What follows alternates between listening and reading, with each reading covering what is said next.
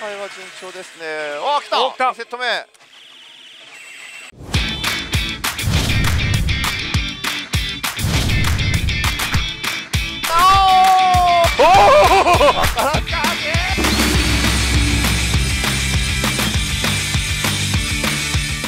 皆さんこんにちはシーサです。さあ池田店長。はい。前回に続き、はい。今回もはい気候なチャンネルで、そうですね。えー、トミーさんに代わって池田店長出ていただいてますけども、はい。今回なんとはい。来ましたよ。大阪府にやってきました。はい。なんと大阪府はい。堺市。はい。こちらグランキコーナ堺店さんやってきました、ありがとうございます。1817台。はい。めちゃめちゃでかいです。そうですね。僕初めて来ましたけど、気候な史上最大の挑戦ということで。気候なグループの中でも、はい。設置台数最大ってこもちとですよね。ろん最大最大ですではい。さらにすごいのが、はい。えーまあ、定価値以外のスロットコーナー。はい。設置台数が777台。777台、はい。プラス定価値があるんですよ。そうです。だからスロットだけで800台超えてるんですよね。そうですね。でパチンコだけで1000台超えてるんですよね。仙台ぴったりですね。あ1000台ぴったり、はいぴったりです。びっくりしますね。僕もこれまでいろんなお店見てきてますので1000台以上のホールっていうのはたくさん行ってるんですけれども、1800台オーバーは圧巻です。そうですね。でまた何ですかこのはい番長の台数、番長3が64台。64台です。すごいですよね、はい。もう規模が違うなっていう感じで。まあいろいろとね、はい。あの驚いてるんですけれども、はい。今日は池田店長のホはい。ームタウンというか、まあここグランキコーナ堺店のはい店長さんでいらっしゃいますそので,、ちょっとまたこのグランキコーナさんについてもいろいろと実践しながらはい。伺っていけたらと思います、はい。というわけで今回、はいスロットコーナーでこう一番目指すところにある、はい。このオス番長3をですねそうですね。今日は打っていきたいと思います、よろしくお願いします、はいお願いします。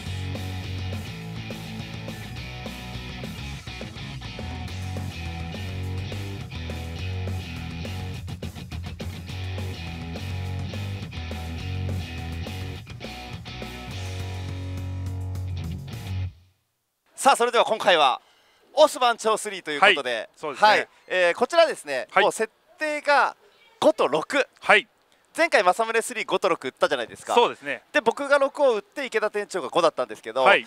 まあ、池田店長5結構厳しいスタート、天井から。そうですね。まあさすがにああいう展開を2回連続でねあの、まあ迎えられてもちょっと困るなと いうことで、はい。まあ、店長今日設定6なんでバリバリ当てていただいてそうですね。はい。で僕は設定5なんで、はい。まあ、設置を見れるかどうかっていうところになると思いまけど、ね。はい。えーたった2時間です2時間ですね。2時間ではい。設定5と6どっちが出せるかはい。やっていきたいと思います、わかりました。よろしくお願いします、はいお願いいたします。はい。はい。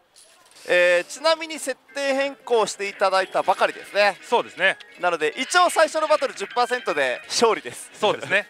一応。あそこさえ引けばもうこの2時間をものにできるかなと。そうなんですよ。この間僕それそれこそ営業中のホールでたまたま朝一のバトル勝って、はいそれで80%取れて、はいはいはいはい。そのまま一撃7000枚だったんですよね。いやえげつないですね。えぐいですね。あの朝一の80取れた時は。実はそれまだ私経験ないんですよ。なかなかですよね。いやそうなんですよ。10%取った上に2分の1なんいでやそうなんですよね。実質5%ですもんね。そうなんですよ。そういう時だけは薄いのを引かないという逆張りがあるんですよね。でも店長今日6なんで。そうですねもしかしたら最初のバトルで勝っちゃう可能性は全然あると思います。そうですね。の朝一の勝利10%の勝利じゃなくてね。そうですね。ただこれだけの台数あってそれなりにこうお客様もはい。来られるわけじゃないですか、はい。これ閉店後とかめちゃめちゃ大変でしょ、いやすごいですね。毎日。毎日すごいですね。だって僕は500台ぐらいのホール700台ぐらいのホール、はい。えーまあ、800台ぐらいのホールと。はい見てきましたけどそれでも閉店作業ってもう戦争ですよ。そうですね。もうあって言ってたら池田店長最初のバトル。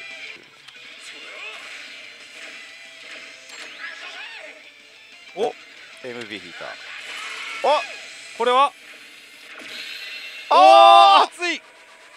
勝つんかいよしよしよしよし。まあ早速はい。ちょっと待って。一発目なんですけど、はいそれはどうなんですいやかねちょっとちょっと微妙でしたね。審議ありなところはありましたけども。じゃあちょっと早速いきます。はい、はいお願いします。ありがとうございます。まあそもそも6は初当たりが軽いですからね。そうですね。ちなみにあの世に私あのもともとプライベート実践ではい。世に放たれている119%のはい。で機械割りはい。があのまだまだ今まで実践でまあ4回ほど負けたことはあるので。え 119の6ではい。どんだけ下手くそなんですか？そうなんですよ。えちなみに、はい。まあ絶対勝てるわけじゃないんでですね、はい。ただ119パーの6って言ったら大体勝てますよ。そうですね。これは参ったなっていうのは何ですか？やっぱ一番ちょっと辛かったのはあのリングにかけろのあー、はい。リンか5け初頭のあれの119あれで設定6で。負けましたね。僕ちょうど店長やってた時にはい置いてた台で、はい。設定6時々使ってましたけど、はいはいはい。まあ出ますよ。そうですね。安定して出いやそますようなんですよ。安定して負けてましたね。そんなことある？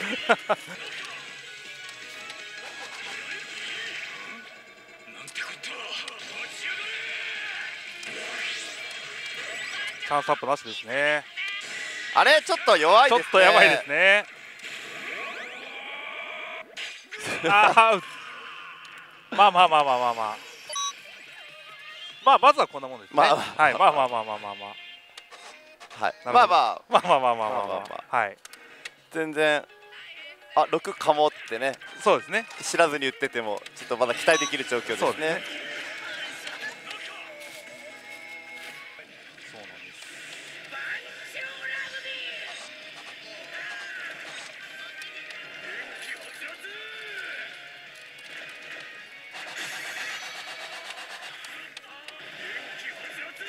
おお2ゲーム連続。おお当たった。さあ当たりましたよ。初当たりです。楽しみはここから設定5ですからね。そうですね。ボーナス引いて絶頂に入れれるかどうか。確かに。5大事がめちゃめちゃ大事な設定です。おまだらだ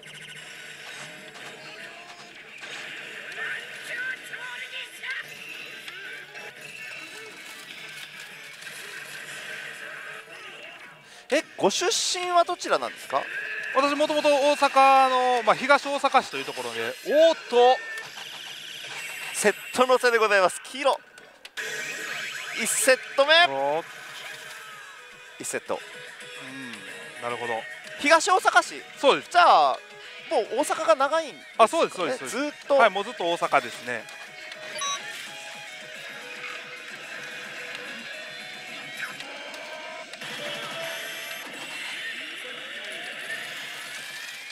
ああとなんか聞くところによるとグランキコーナさんじゃなくて、はい。キコーナさんがですよ、はい。3月がはい。創業月間らしいじゃないですか、そうです。はい。3月の21 21日日ですね。が、はい。あのキコーナ全店ですね、うんキコーナグループの創業日ということで、はい。まあ、年度末に向けてあるいは新年度に向けてかなりこうグループ全体力がこうこれから入っていくところですよね。そうですね。はいまあ、最近のキコーナさんでいうと結構こう社会貢献活動されてたりとか、はい。いろんなこうこう地域密着の活動っていうの多いじゃないですか。そうですねはい。やっぱりそのあたりもこの3月4月っていうところは力入れていかれる感じになるんですよね。そうですねはい。もともとまあその創業月間とはまた別ではい。地域の方々へのコミュニティとしてはい。気候なコミュニティチャレンジというはい。あの活動を広げてましてえー、地域の、えー、と清掃であったりとか、はい。まあ、そのボランティア活動に参加したりはい。天気日を利用して地域の方々に参加いただいてはい。一緒に消消防訓練してみたりとか、へはい、そういうさまざまなな活動を通じて住人の皆様はい。に、あのご迷惑いつもおかけしてるんで、はい、何かさせてくださいということで偉い。そういう活動をさせていすただいて。ごいですよね、、はい。やキコーナさんってやっぱ取り組み姿勢も素晴らしいんですけど、はい、こう人を巻き込むの好きですよね。そうですね。いろいろとはい。いい,、い、いことですそうでけどすね。はい。あとなんかどこでもやってることをうちは違うっていうの目立ちたがりですよね。そうですね。フはい。ァンカンとかも派手じゃないですか。そうなんですよ、はい、あの変化球好きなんで変化球を当てたがり、当てたがるので、だから面白いし、はい、なんかやっぱりこうなんかキコーナは違うっていう、うん。こう声が聞こえてくるんですよねどりがとうございまっからか。すはい。いやでも毎日大変でしょこれだけの台数あってそして注目度も高いお店ですから、はい。下手な営業できないわけじゃないですか、まあまあそうですね。何にしてもそうですよ、まあ、調整にしてもそうだし接客にしてもそう、はい。入れ替えにしてもそうだしチラシの打ち方にしても広告の打ち方にしてもすぐ目立っちゃうと思うんですそうよねですねはい。だからこの中で店長やられてるっていうのはめちゃめちゃやりにくいって僕は正直思うんですよ、はいはいはいはい。あまた乗った。うお強いこれで4セット目まで確定ですね。文言一つ間違うだけではい。叩かれる時代じゃないですか、まあそうですね。やっぱ結構気使ってます？チラシとか、まあ気を使いますし気を使う中でももちろんやっぱり、まあ、ミスしていけない部分も、まあ、はい。やっぱりこぼれてしまう瞬間はい。もやっぱりあったりするんですけども、ええ。まあ、それも含めてこう自分の成長の糧になるのかなというふうには常々思ってますね。だからこうひるまず積極的にっていう。そうですねはい。素晴らしいですね。ちょうど僕その初代の番長が設置してあった時に、はいはいはいはい。まあ、当時メルマガが流行っていて、はい。メール会員様募集っていうのをよくやってたんですよ、うんうんうんうん。で、えーパソコンからそのメルマガの会員様に向けて明日のこう案内打ってて、うんうんうんうん。当時は番長の日とか、はいはい。エヴァの日とか、はいはいはいはい。海の日あったんですよ、曜日別に、はいはい。で次の日こう番長が強い日でうん。初代番長、明日。もちろんオス番長はいはい。やります、でオール4頃とか6とか当然歌えなかったんですけども、V モード大量投入みたいな感じの打って、はい。こうアルファベットの V を打ったんですよ。はい。で、えー、で1コーナーははい。オール V みたいな、オール4頃っていうニュアンスで、はいはいはいはい。オール V って言ったら、はい。その V がはい。数字の5に誤変換されてしまって、はいはいはい明日番長オール5っていうメールを一斉に送ってしまったんですよ。なるほどなるほどそれやばいですね。それはめちゃめちゃやばかったですよ。さすがにそれはやばい。さすがにイベントができた時代時代も設定公開ダメよだったんで、はいはいはいはいそうですね。ですぐブロック長から電話があって閉店後、はいはい。おいなんやあのメールって。いくらなんでもやりすぎぞって言われて何がですかって言ったの、はい。メール見てみって、はい。明日番長オール5ってメール打ってるんですよ、おいおいおいおいってあすぐお前すいません間違えましたって打てって言われて その後すいません先ほどのメールのオール5は間違いでした。それもだいぶ厳しい だいぶ設置がない配信ですねそれもそうなんでオール5間違いでしたって言って、はい。えーでもあの前代お楽しみいただけますみたいな内容を打ったんですよ。だからそれはね僕メール打つ時にめちゃめちゃ失敗して、うん。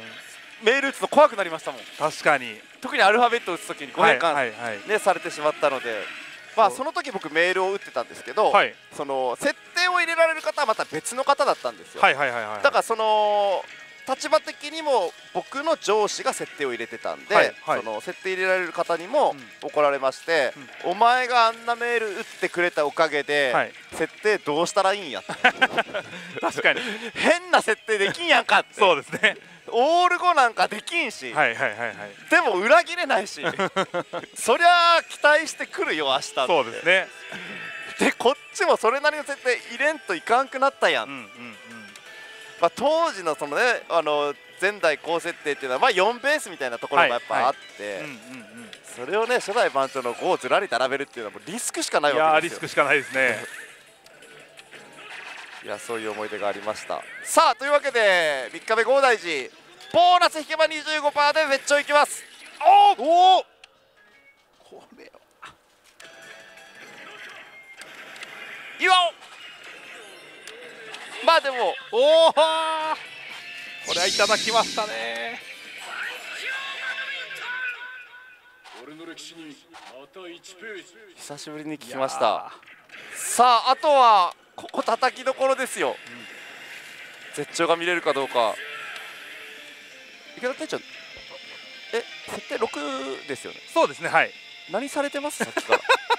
え回してます？いやあのトークでなんとか勝てれば。いやいやああ当ててください。いやもちろんそうですねはい。今何回当ててます？今は1回ですね。はい？ちょっとちょっとちょっと。はい。いきますよ。はい。鏡先輩。あーここは絶頂はありませんでした。い。やでも後手分かって打つとこんなにドキドキするんですねですねヒリヒリしますね。はい。結構勝手なイメージですけど設定後はまあまあ辛いイメージを僕持ってたんですよ、番長3と。全然そんなことなかったなさあこちら3セット目が終わって残りストックがあと1つあるはずですので次のセット目まではいくか。はい、ここまでがストック分になります。でまあ今日は2月の16の閉店後にお邪魔してまして、はい。ままあ行くところ行くところでやっぱり2月は厳しいねっていうお話聞いてますけど、はいいかがですか、この辺りは？やっぱり2月、ちょっと、まあ、1月、2月とそうですね。まあた稼だ働的には、うん、うちの場合はミリオンゴット凱旋の撤去などい。ろいろありましたけども、えあのお客様にはあのしっかりまたご来店もいただけてますし。じゃあそこまでそうですね。極端に下がってはいない、はい。おかげさまで。まあ、これだけ番長3置いてる置いてもないですけどね。そうですね。そうですか、じゃあ3月、4月はますます楽しみですね。そうですね。当てましょう、そろそろ。頼む。さすがにごめんなおさいごめんなさい。当たりましたね。お、やっと2回目。ようやくですね。さあここでちょっと見せたいですね。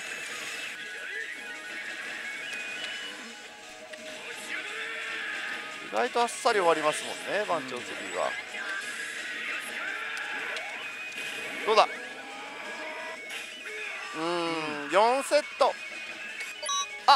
終了画面、あの普通です。終了画面、特に何もありませんでした。さ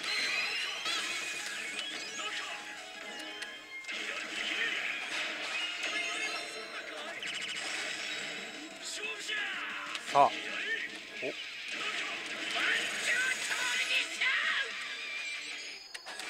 来い、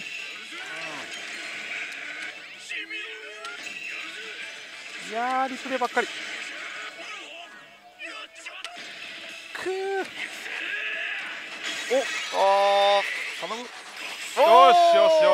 し。単発回避。うん単発回避しましたお今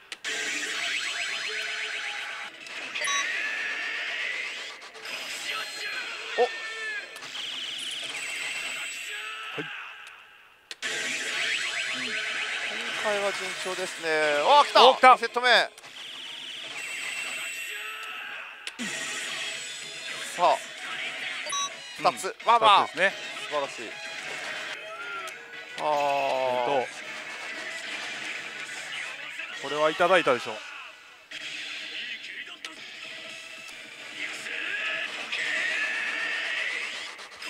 よし。調子いいですね。ありがとうございます池田店長が楽しそうでよかったです。いやちょっとそう言われると恥ずかしいですね いやいや、さすがに設定6ですもんね。いやまあまあそうですねまあでもはい ART 中の馬の強はもう自力ですよ。そうですねやっぱ6は出ますね。出ますねだからそれ見ると、まあ、いかにこう自分が普段低設定を打ってるのかっていうのは分かりますね。そうですねだからグランキコーナ酒井店さんにはまあそういう挙動をする台がちらほらあるわけでしょ？はい。その毎日何十台とは言わずともはい。ここぞという時にはそういうのも結構使われるわけでしょ？もちろんそうですね。気合を入れるときは。気合い入れる時は。は64台に恥じぬ状況は作らせていただいてますね。その番長364台が赤になることもあるわけですよね。もちろん。もちろんあります。それはもう土平日でもあります。土平日でも？土平日でもあります魅力的だな。64台あれば座れそうな気もするんですけどね平日の朝とかだったら、はい。ここだけの話、はい。ど動画見られてる方にはちょっと伝わっちゃいますけど、はい。その設定変更についてはい。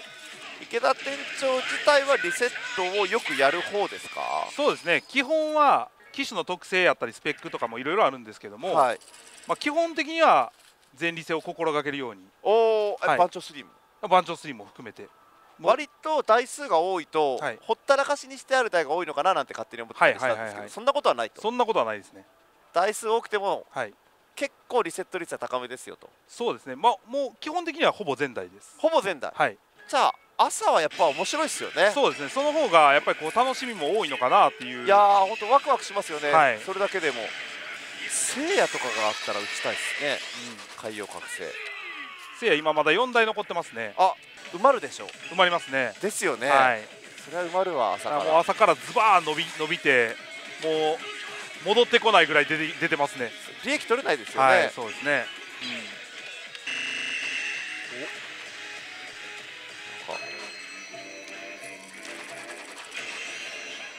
ああまた乗るんじゃないですか。うーわ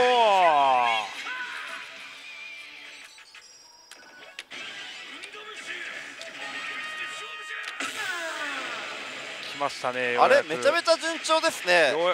おありがとうございます。はい。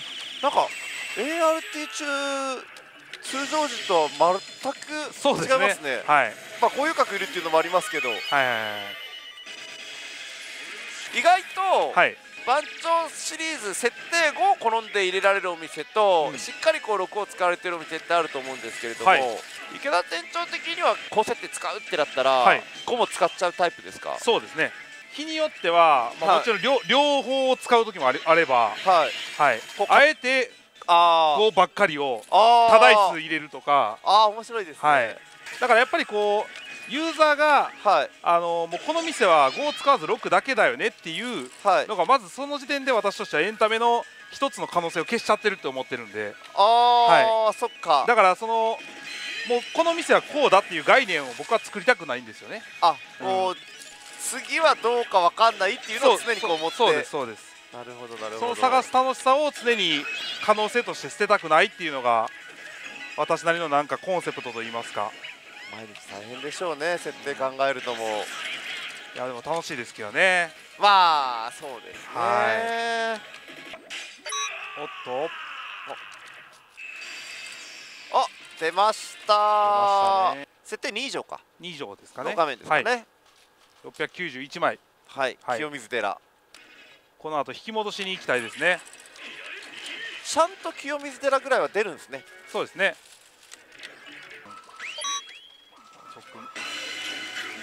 き戻しちゃうんじゃないんですかそこは。うん。おおもらった。これはいただいたな。引き戻しでしょうね。多分そうですね。はーい。やっぱ違うわ6は。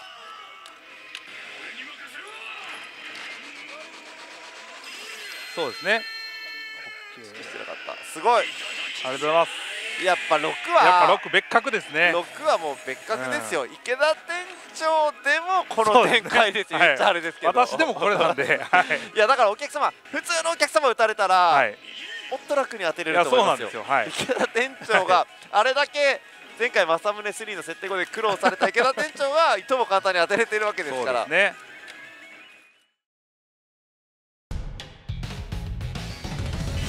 期待通りの信頼っていうのも結構多いですよね。おおおのお気持ちいい。やりたい放題だな。おお